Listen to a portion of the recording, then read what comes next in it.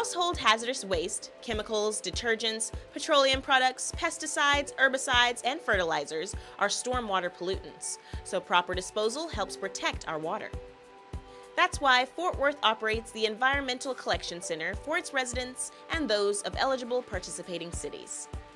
Located at 6400 Bridge Street in East Fort Worth, the center is open 11 a.m. to 7 p.m. Thursdays and Fridays, 9 a.m. to 3 p.m. on Saturdays. Visitors need proof of residency, a valid driver's license, or a current water bill. The facility is for residential waste. Commercial, business, or industrial waste cannot be accepted under Texas regulations. The ECC is a drive through facility, so when you pull in, remain in your car and staff will unload your waste. Leave the products you bring in the original marked containers, and if the waste is unlabeled, please label contents clearly. Place leaking containers inside a second container. Secure all items in a box or bin, no trash bags, in the truck of the car or bed of pickup for transport.